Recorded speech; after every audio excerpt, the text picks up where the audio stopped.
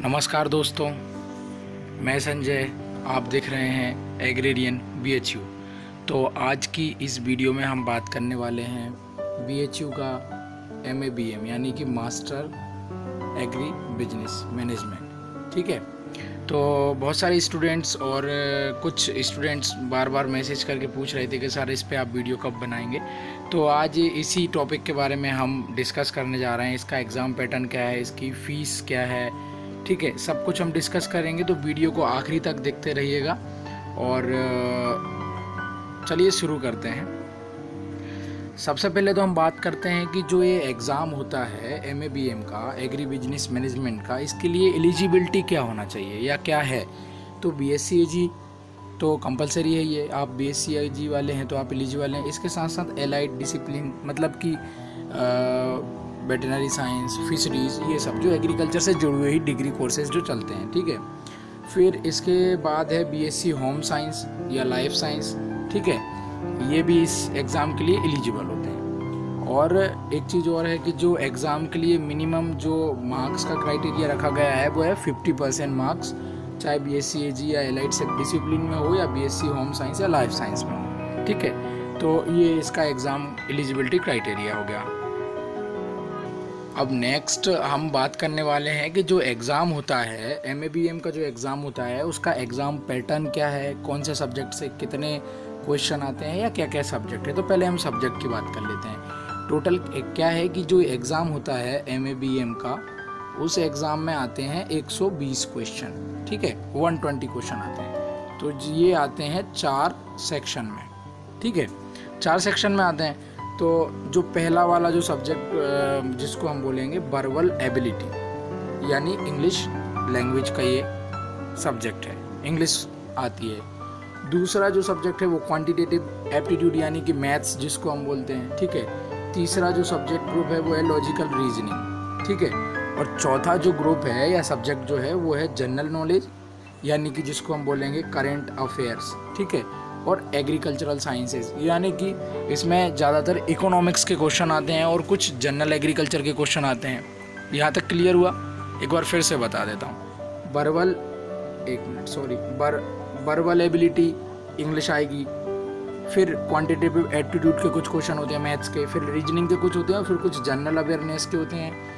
मतलब बैंकिंग से रिलेटेड भी आता है इसमें। बैंकिंग यानी कि एग्रीकल्चर से नाबार्ड का कुछ पूछ लेगा। प्रेजेंट में नाबार्ड के चेयरमैन कौन है? ठीक है, इसकी सब्सिडीज़ क्या है? मतलब एग्रीकल्चर से रिलेटेड और कुछ करेंट अफेयर भी इसका पूछ लेता है। फीफा अवार्ड के बारे में कुछ पूछ लेगा।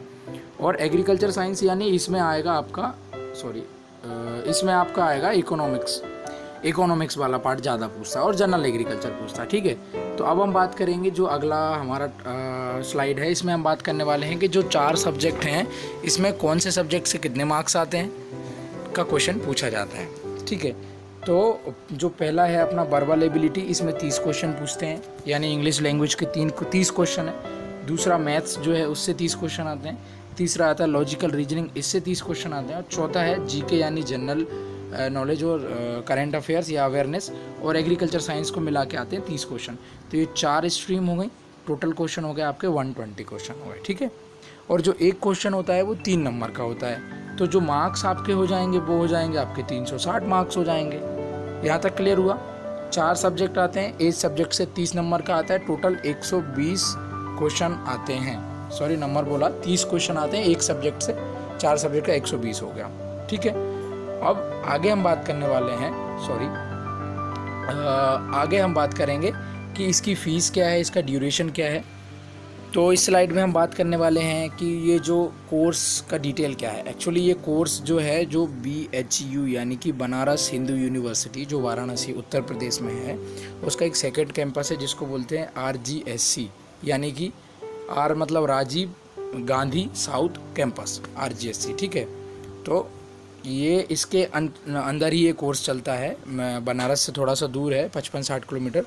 और इसकी जो मान्यता है वो BHU से ही है। इस कोर्स की जो फ़ीस है वो डेढ़ लाख रुपए, यानी कि पचहत्तर हज़ार रुपये पर साल इसकी लगती है।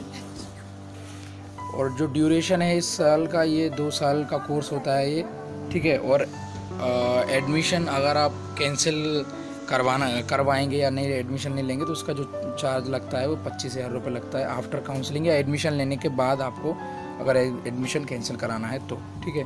समझ गए, दो साल का कोर्स है, फ़ीस डेढ़ लाख रुपए है पचहत्तर हज़ार रुपये साल का फ़ीस लगता है और जो है, दो साल का कोर्स है, ये सेमेस्टर वाला सिस्टम है। ठीक है, यानी कि साल में दो सेमेस्टर आएँगे तो चार सेमेस्टर इसके हो गए, लेकिन ईयर ईयर वाइज इसकी फ़ीस बढ़ाती है।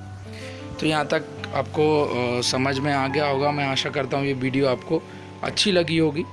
और साथ ही मैं आपको बताना चाहूँगा कि जो अपना एग्रेरियन एग्रेरियन बी जो चैनल है वो टेलीग्राम पे भी व्हाट्सएप और इंस्टाग्राम सभी पे है यूट्यूब के साथ साथ भी।